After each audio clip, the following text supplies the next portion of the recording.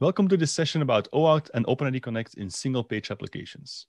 In this session, I'm going to cover recent changes, how single page applications handle OAuth and OpenID Connect. As a running example throughout the presentation, I'm going to talk about a restaurant review application known Restograde.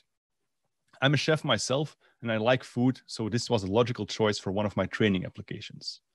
Restograde is very much like any other review application. You have a list of restaurants, you can post a review, and so on.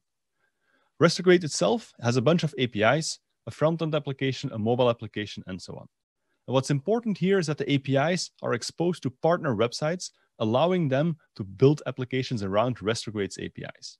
That's essentially the use case for OAuth and sometimes OpenID Connect as well. Before we dive into details, I want to give you a small introduction to OAuth and OpenID Connect, just so we're on the same page. On this image here, you can see the different stakeholders in an OAuth or OpenID Connect flow. You have a bunch of clients, different client types, such as a backend application, a mobile app, a front-end web app, or even a client with no user involved, such as a batch script. You have a bunch of APIs that need to be protected against access from these clients.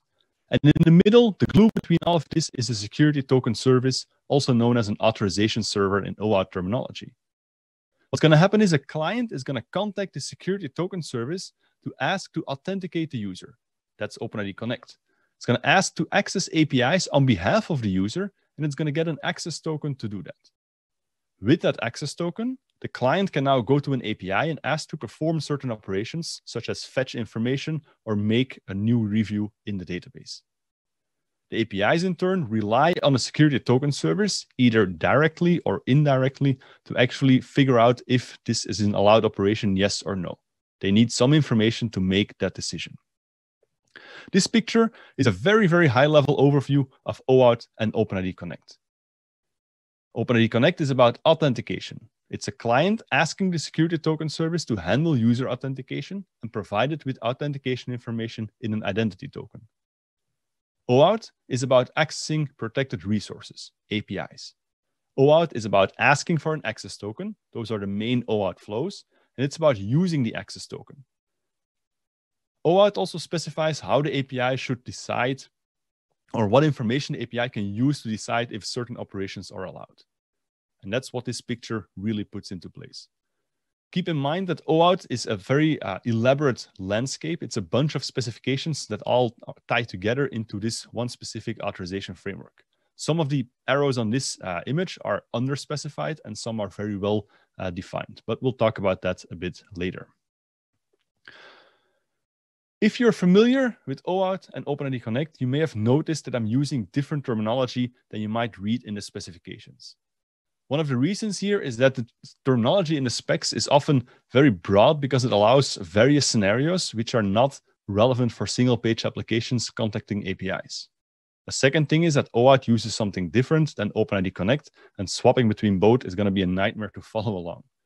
That's why I'm using users, APIs, clients, and a security token service in this session. On the right, you can see what that translates to in the OAuth specs or in the OpenID Connect specs, in case you want to go there and read them. All right. Before we dive in, one small word about, well, a few small words about myself. I'm Philippe Ryck and I'm from Belgium. And I used to travel the world to help people with security. So I did a PhD in security, and since a few years, I'm running my own consulting and training company called Pragmatic Web Security. And I travel the world, or I teach online nowadays. I teach developers how to build secure applications. I create online courses, and I also deliver security advisory services to developers or companies building out very specific um, solutions. So one of the solutions is how can we build single page applications according to current best practices when we use OAuth. At the top here, you'll see a few icons. Um, noteworthy here is I'm a Google developer expert and an Auth0 ambassador, which basically means that these uh, outreach programs recognize my contributions for security and identity to the community, very much like this talk I'm doing right now. Enough about me let's talk about single page applications. Let's go back a year, maybe a year and a half, and see about how a single page application would request an access token from the security token service. And that application is going to use the implicit flow. What does that look like? Well, we have our front end at the bottom here. We have a browser from the user. We have our security token service on top. And eventually, we're going to be contacting an API with an access token. The first step is that the front end is going to navigate the user's browser to the security token service because this step allows the STS to figure out who the user is so it can give appropriate access tokens for that specific user. This happens with a navigation. So the browser is going to follow that navigation, load an HTML page, or send a request to the security token service, which will trigger the whole flow. That's step number two. The STS at this point is going to decide do I know who the user is? Do I have an existing session? If so, I can move forward, but typically it's going to have to authenticate the user. So it's going to show the user an authentication page like, who are you? Can you log in with your Restograde credentials, please? Oh, yeah, of course. I'm Philippe, and this is my password. Here you go. STS verifies that information, and if, if everything checks out, it now knows that Philippe authenticated to the security token service. In this case, um, it might check with the user if the user is fine with sharing access with the Restograde front-end application. So basically the STS is asking the user, I'm going to give that app an access token. Are you sure you want that application to act on your behalf to the API? In this case, the user obviously wants that. So the user authorizes that access. That's step number six. You may have noticed that OAuth flows get complicated really quickly, but we're, we're almost there, I promise. So after authorization, the security token service is going to generate an access token, essentially what we want to achieve with our OAuth flow. And it's going to trigger a redirect in the browser. So it's going to respond to the user's browser with a redirect, telling that browser to reload the front-end application. And it's going to include that access token in the URL of that redirect. The browser is going to reload the front end, which allows the front end to extract the access token from the URL, which it now gives the front end that desired access token. And with that access token, the front end can now go to the API and ask for a specific set of reviews and will get a response from that API as well. And that is how front-end applications actually request access tokens or requested access tokens. People sometimes kind of dislike the implicit flow. It's one of the simpler flows in OAuth. That's one of the benefits, but it also has this, this glaring problem here. This something that rubs people the wrong way. And that problem is the fact that this access token is being transferred in the front channel through the browser. That means if somebody is observing the network traffic, they can steal that access token right there from the URL. Fortunately, this is no longer that big of a problem. It isn't as big as 10 years ago when this spec was created, because today everything runs on HTTPS. Nonetheless, people don't really like it. It's not a good practice to put things in URLs, so this is a bit frowned upon. Also, this particular pattern here is the reason that the implicit flow does not support refresh tokens, which would allow long-term access in the name of the user to that API. But we'll talk about that in a bit. So the implicit flow isn't great. And it used to be acceptable because that's the best we could do. But recently that changed because recently the best practice became to use the authorization code flow with proof key for code exchange or PKCE in short. This flow results in the same thing. It also results in an access token. It just takes a little bit longer to get there because there's an intermediate security mechanism called an authorization code. And that code is going to be a one-time token that goes through the browser that doesn't do anything else but give access to an access token. So let me show you how such a flow works in practice. With PKCE, the client is first going to generate a random challenge, a random verifier. That random verifier is a long random string that matches certain rules in the specification. The exact rules aren't too important right here. Next, the client is generating a hash of that verifier, like basically a, a unique value linked to this verifier that can never be linked back unless you know both values together.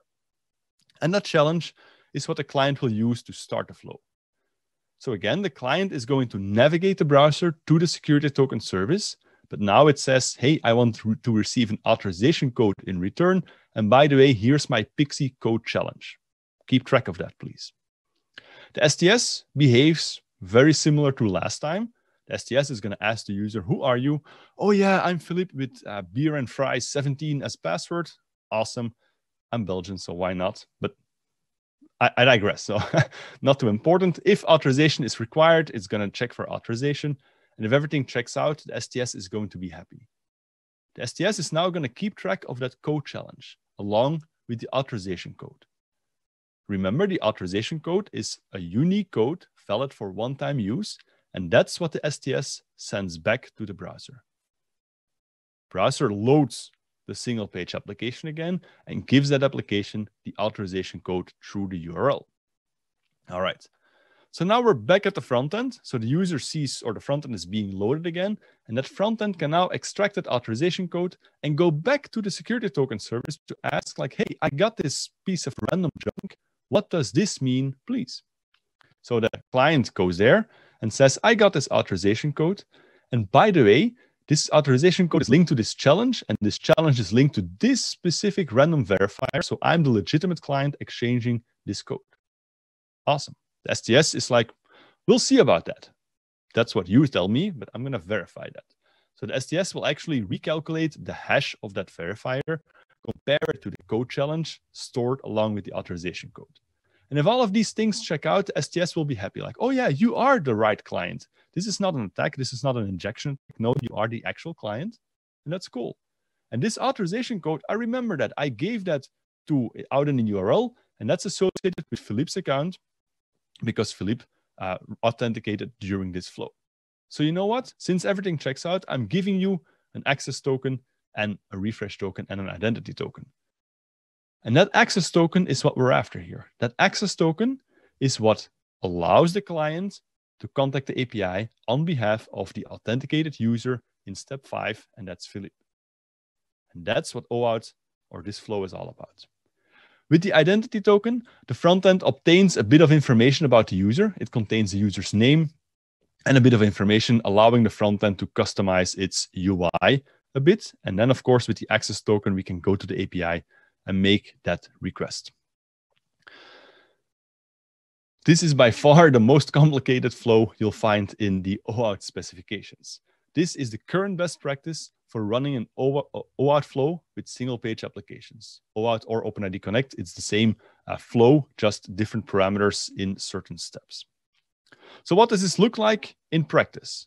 What if you dig down, uh, deeper down into the actual requests and responses? That's where you see all of these parameters flying back and forth. Let me show you the request for step two and three, the redirect URI. So that's basically um, the step where the front end, the SPA, navigates the browser of the user to the single page application. You can see this is going to be a very long URL. In reality, they don't look very pretty. They're just a long blob of data. So I uh, PowerPointified this one for you so you actually understand what's going on here. On line number two, you can see a response type. That's the front end telling the STS, I expect a code, an authorization code in return to my initial request. Awesome. By the way, I am the Restograde frontend. This is a client identifier that has been assigned by the security token service at the beginning when the client was registered there.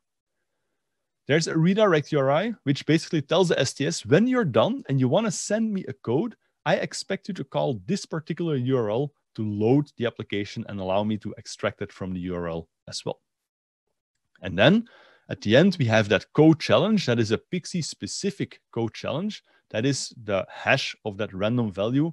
And this is the hash. Oh, sorry. And the last parameter, line eight, is the hash function being used, which is SHA-256 in this case.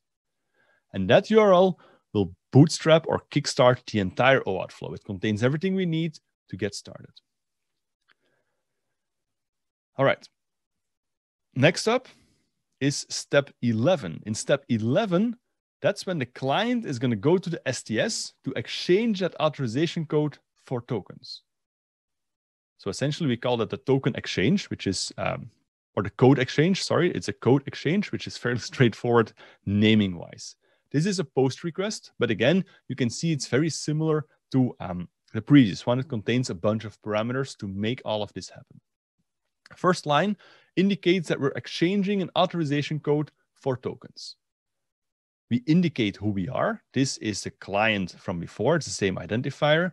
We specify where we receive this code. That's uh, necessary for certain reasons, which I'll not go into detail. And of course, we also provide the random code we received from the authorization uh, from the security token service in step number nine and 10.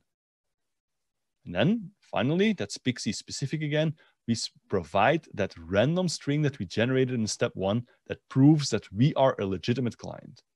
So if an attacker is messing with an application and trying to inject tokens, it will uh, a code uh, to trick the client into doing something it's not supposed to be doing. It will not match this code verifier, and the STS will be refusing that request.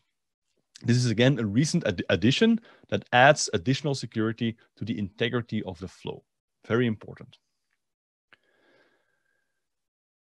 All right, I am pretty confident that by now you are in a full-on panic mode if you ever have to implement this. Like, holy, I'm not going to swear here, uh, holy whatever.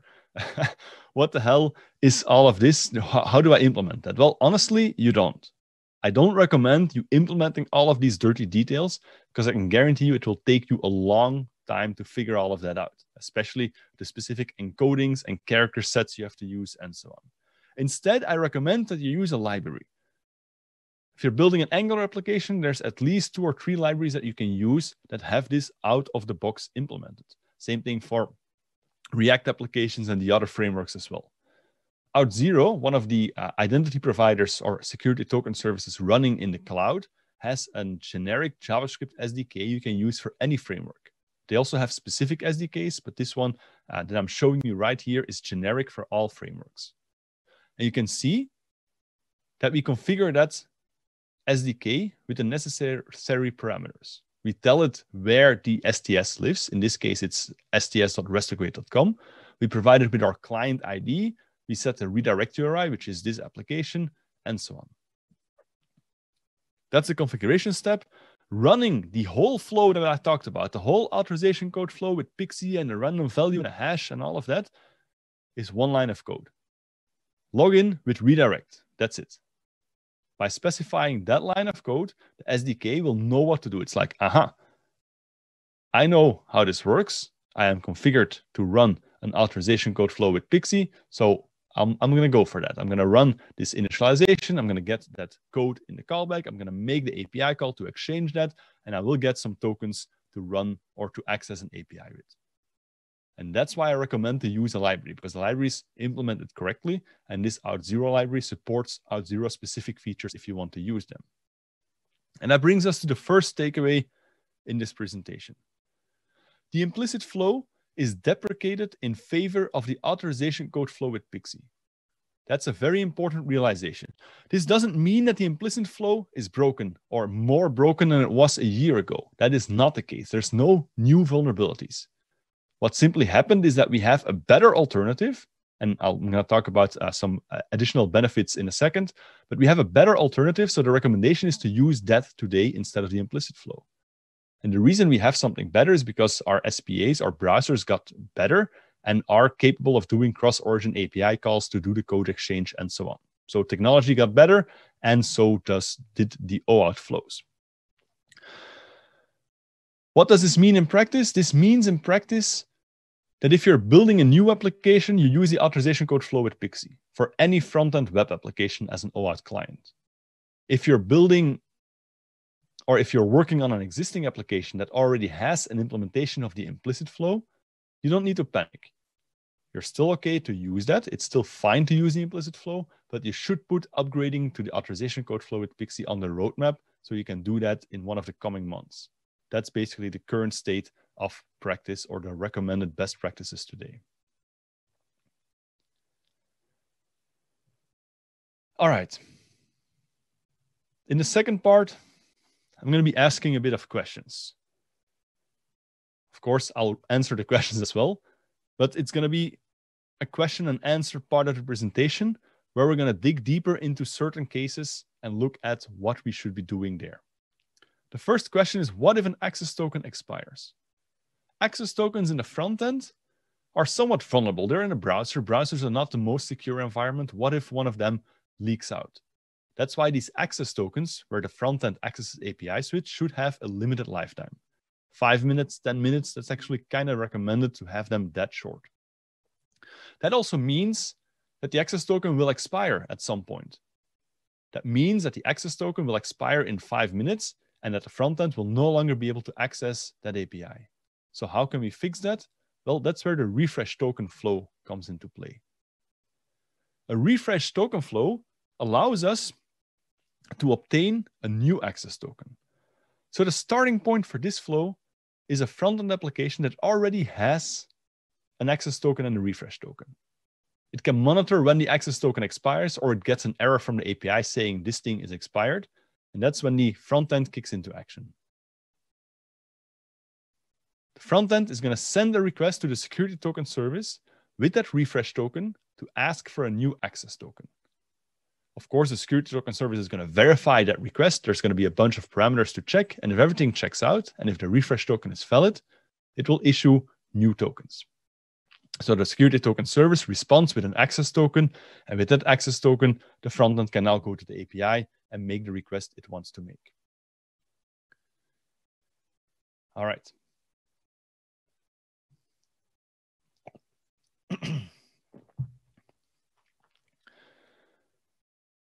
You may remember from about a year ago, a year and a half ago, that people have been saying never use refresh tokens in the browser.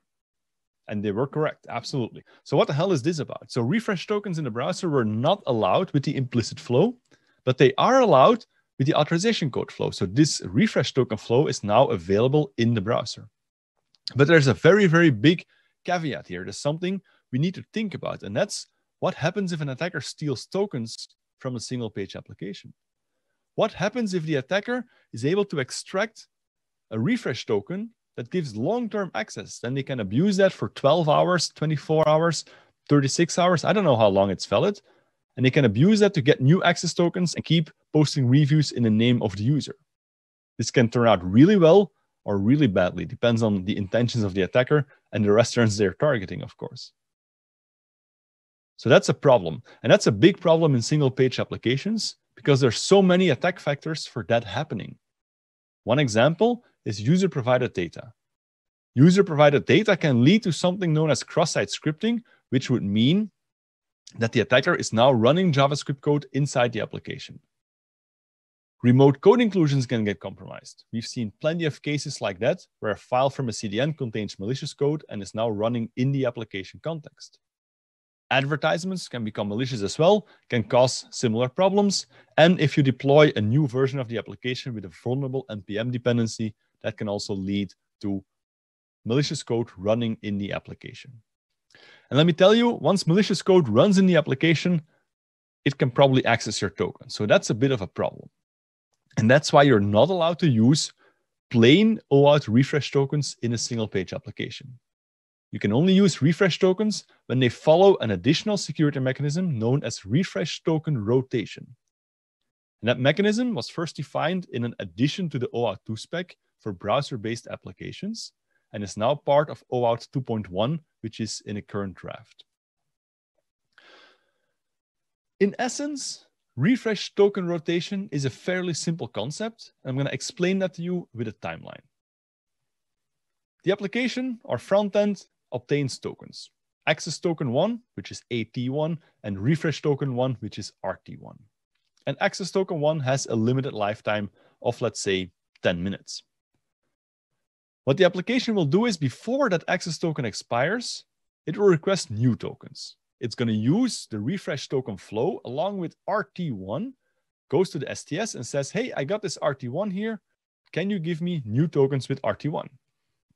The STS is going to verify all of that. And in this case, it will issue access token 2 and refresh token 2, AT2 and RT2.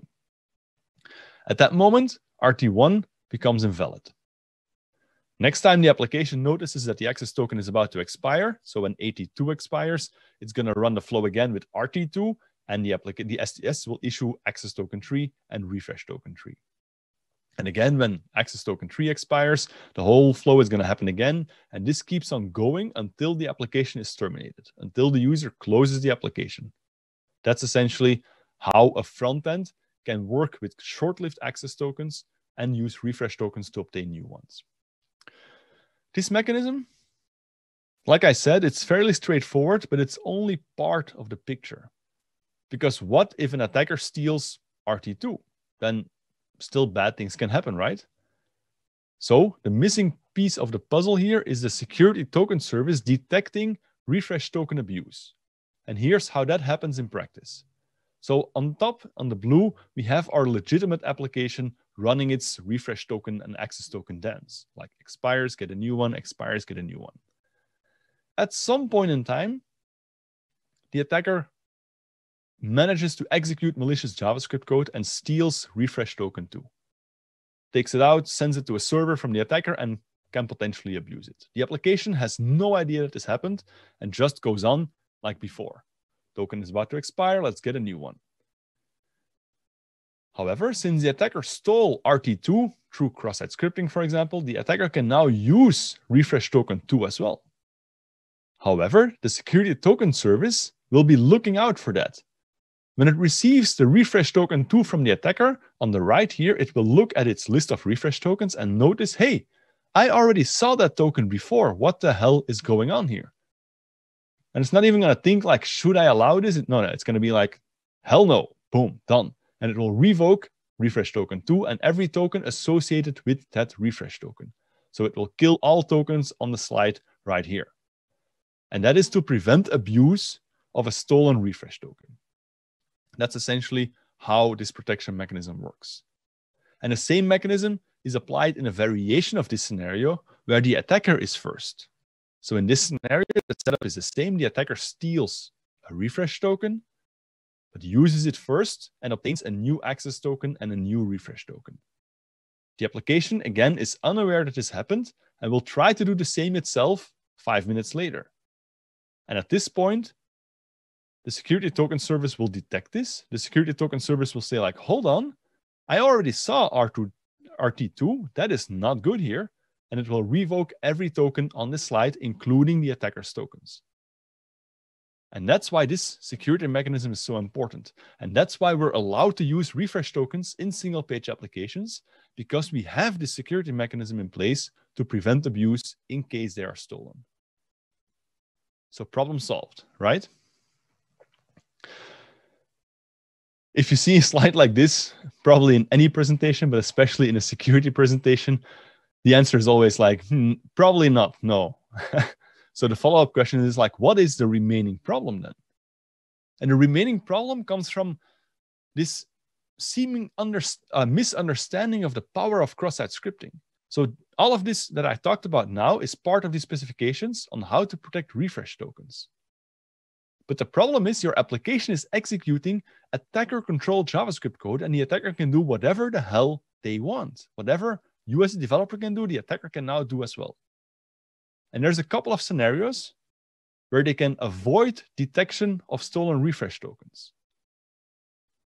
And in my opinion, refresh token rotation doesn't buy you much. Let me show you two scenarios. There's a couple more, but I only have time to cover two and I'll let you up, make you up your own mind after that. So how can an attacker sidestep refresh token rotation? Bear in mind that these are advanced attackers, like the skilled people coming after you, not the script kiddies that found a way to extract information from local storage and don't really know what a refresh token is. But a skilled attacker will do something like this. We have our application running on restograde.com, and we have our attacker controlled code right in there. Doesn't matter how it got here, we have a piece of malicious code running in your application. That code is going to monitor legitimate application code for tokens. And whenever your legitimate application uses an SDK to get to get new tokens from the STS, the attacker will be monitoring that process. So the attacker will now be able to extract access tokens and refresh tokens every time you get a new set. And the attacker sends these tokens to the server controlled by the attacker, just extracts them and ships them off so the attacker can use them later. And then the attacker waits. And maybe this happens again and again, and the attacker does the same thing again and again until the application becomes inactive, until the user stops using this application. And at that point, you'll have some refresh tokens still valid. RT5, maybe RT99, I don't know. One of these tokens will still be valid. So the moment the attacker detects that the application went offline, it can start using that refresh token itself to get new access tokens and new refresh tokens. And it can basically keep that refresh token alive or that chain alive until it reaches its final lifetime. So refresh tokens in the browser will have a finite lifetime, as in eight hours, and after eight hours, it's over, and there's no way to go on after that. But the attacker will now be in control of that refresh token. That's one scenario.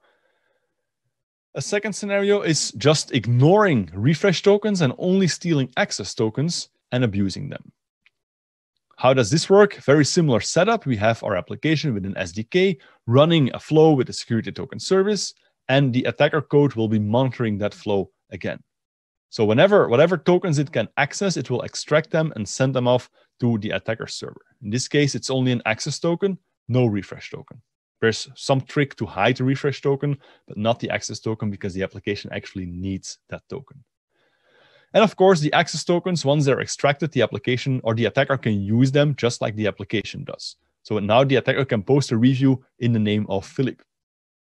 And if the application remains active and the payload of the attacker remains active, the access tokens will keep coming and the attacker will be able to keep posting reviews in my name until the application gets shut down. Then, of course, the attack here ends. And these are fairly sneaky uh, attacks, and it seems that we should be able to protect tokens, but I can promise you in JavaScript, you really, really, really can't. And if you want to know more, there's an article I wrote about how to extract them from one of the most secure setups I've seen where they hide the refresh token, but the access token, because it's passed around, will always be accessible through some dirty JavaScript trick, tricks. So remember, in JavaScript, you cannot hide secrets ever. So I promised you question and answer. So we're screwed, basically, uh, right? Well, yes. In this case, the answer is yes. Tokens in the browser are virtually impossible to secure. And that is something that you'll have to live with. There's honestly, I, I wish I would have better news, but I really don't. If you have tokens in a browser based application and you have malicious JavaScript executing there, tokens will be extracted. There's no doubt about it. It might be difficult, and maybe not every attacker will be able to do it, but somebody will extract these tokens. So, what do you do for sensitive applications? Well, my advice for sensitive applications is not to store tokens in the browser. Instead, you should use a concept we call a backend for frontend. And I'm going to introduce this concept to explain you conceptually what it does, and uh, then we're going to wrap up this session. So, what is a backend for frontend? Well, in a backend for frontend, we're going to build a specific, specific dedicated backend for our frontend application. And that backend sits in the middle between the frontend the security token service, and the API.